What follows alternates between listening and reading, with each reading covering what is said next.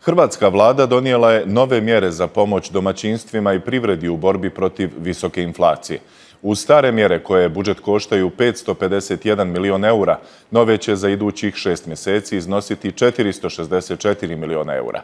Cilj tih mjera je da se smanji stopa inflacije, a zasnivaju se uglavnom na dogovoru vlade i trgovaca o smanjenju cijena hrane, pomoći penzionerima i roditeljima s djecom.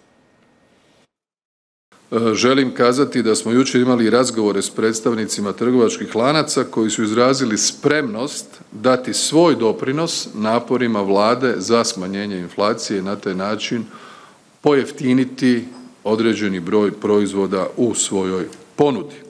Oni će započeti s aktivnostima snižavanja cijena već ovih dana i siguran sam da će mnogi od njih vratiti i cijene na razinu sa kraja prošle godine.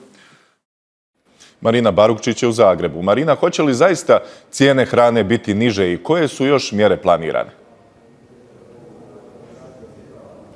Cijene hrane za 30 proizvoda koje je vlada danas zamrznula uz osam koje smo imali do sada zamrznute bit će doista jeftinije, no kad su u pitanju cijene hrane ostalih proizvoda, to će sve ovisi ovisiti o trgovcima. Dakle, do sada smo imali zamrznutih osam osnovnih proizvoda, to su bili ulje, mlijeko, brašno, šećer, piletina, svinsko meso, a sada imamo novih 22 proizvoda koji će biti dakle, jeftiniji i zamrznuti na toj cijeni sljedećih šest mjeseci, a to su jogurt, sir, gauda, riža, špageti, jaja, svinski vrat, juneći vrat, hrenovke, limun, krumpir, pasirana rajčica, jabuke, gala, mliječna čokolada, šampon, šareni grah, toaletni papir i pelene.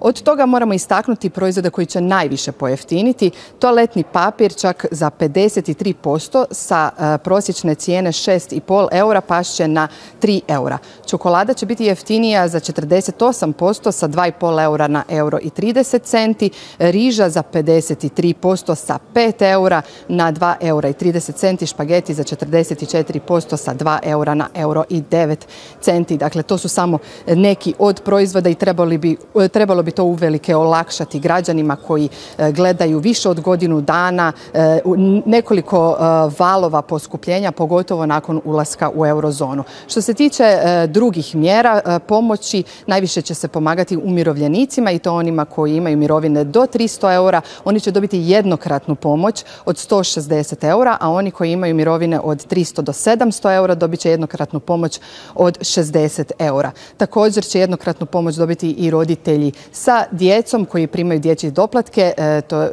radi se o 220 tisuća djece, dobit će po djetetu po 50 eura. Dakle, e, koliko će pojeftinjenja za ostale proizvode doista biti, to ne možemo biti sigurni. Govorilo se proteklih dana nakon razgovora trgovaca sa vladom o tisuću proizvoda koji će odjednom pojeftiniti već od sutra, već od petka, pa zatim od 360 proizvoda, da bi to na kraju palo na možda 190 proizvoda, a sada se već govori da ovisi o trgovcima, ovisi koliko će trajati akcije.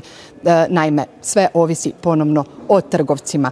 E, dakle, e, premijer je apelirao na njih da smanje cijene makar na razinu od 31.12. prošle godine, no isto tako je pitanje koliko su te cijene doista tada bile niske, jer svi su krajem godine povećavali cijene, jer se ulazi u eurozonu, pa da se ne bi ispostavilo da su ih povećavali nakon prvog prvog i ulaska u euro, povećali su ih ranije, tako da je i to jedno veliko pitanje. Hrvatskim građanima je standard pao, pogotovo kada se gleda 2015. godina. Samo statistika kaže da je hrana i bezalkoholna pića da su e, poskupili za 42%. Sve ove mjere koje su donesene, a ima ih još, nismo ih mogli sve nabrojati, bit će e, na snazi do proljeća, a na proljeće slijede izbori. Najprije europski i onda vrlo brzo parlamentarni, krajem godine predsjednički, pa tako da se i na ove mjere gleda i u tom predizbornom kontekstu. Marina, hvala ti za ovo javljanje.